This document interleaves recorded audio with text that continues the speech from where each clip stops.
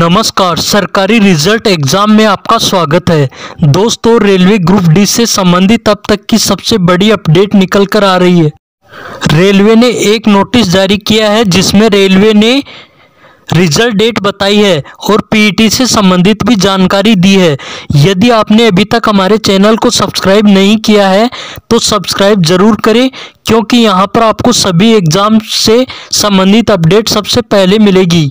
अभी अभी जारी इस नोटिस में आरआरबी ने बताया कि ग्रुप डी का रिज़ल्ट 24 दिसंबर से जारी कर दिया जाएगा और पीटी जनवरी 2023 में करवाया जाएगा। यह ऑफिशियली नोटिस आप हमारे टेलीग्राम पर देख सकते हैं, जिसकी लिंक डिस्क्रिप्शन में दिया हुआ है। यदि आपने अभी तक हमारे चैनल को सब्सक्राइब नहीं किया है तो सब्सक्राइब ज़रूर करें। Thanks for watching the video.